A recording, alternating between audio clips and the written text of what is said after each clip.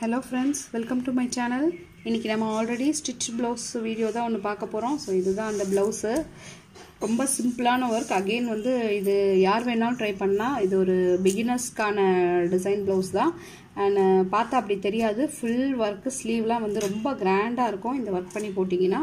So கண்டிப்பாக இந்த வீடியோவை பார்த்துட்டு பிகினர்ஸ்லாம் ட்ரை பண்ணி பாருங்கள் அண்ட் இந்த ப்ளவுஸ் வந்து ஒரு ஒரு அழகான ஒரு க்ரீன் கலர் ப்ளவுஸு அந்த அந்த க்ரீன் கலரில் வந்து பிங்க் கலர் த்ரெட் வச்சு லோட் பண்ணியிருக்கேன்.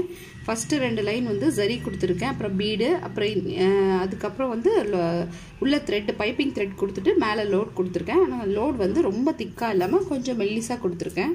நெக்ஸ்ட்டு வந்து ஒரு லைன் பீட் லைன் கொடுத்து முடிச்சிருக்கேன். ஸோ இது வந்து ஃபுல்லாகவே ஒரு சின்ன சின்ன one inch one inch square ஷேப்பில் ஒரு பேட்டர்ன் ஒரு சின்ன டெம்ப்ளேட் மாதிரி கட் பண்ணி அதை அப்படியே வச்சு இந்த நெக்லைனில் ட்ரா பண்ணியிருக்கேன்.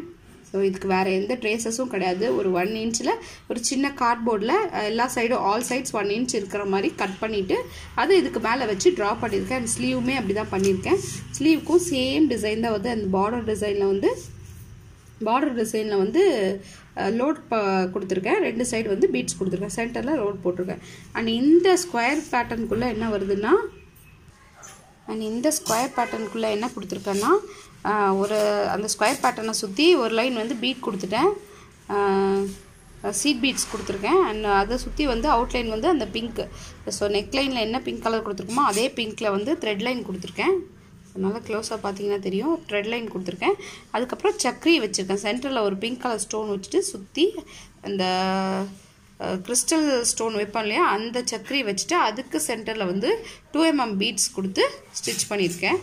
ஸோ நான் அந்த சக்கரியில் வந்து கிறிஸ்டல் ஸ்டோன் வைக்கலை. அதாவது ஜுவல்லரி ஸ்டோன்ஸ் வைக்காமல் ரொம்ப ஓவர் கிளிட்டரிங் எஃபெக்ட் வேணான்றதுனால அது வைக்காமல் நான் வந்து அதில் பீட்ஸ் கொடுத்துருக்கேன். ஸோ இதுதான் அந்த டிசைன் இது ரொம்ப ஈஸி நீங்கள் ட்ரா பண்ணணும் கூட அவசியம் கிடையாது. ஒரு ஒன் இன்ச் கார்ட்போர்டில் வந்து நீங்கள் one inch one inch all sides one inch இருக்கிற மாதிரி கட் பண்ணி அதை வந்து இதில் வச்சு வரைய வேண்டியதான் உங்கள் ஸ்லீவ் அண்ட் நெக் பேட்டர்னில் வச்சு வரைய வேண்டியதான் ஸோ எல்லா பிக்னஸுமே இதை ட்ரை பண்ணி பாருங்கள் இந்த வீடியோ உங்களுக்கு பிடிச்சிருந்தா லைக் பண்ணுங்கள் ஷேர் பண்ணுங்கள் சப்ஸ்கிரைப் பண்ணுங்கள் ஃப்ரெண்ட்ஸ் தேங்க்யூ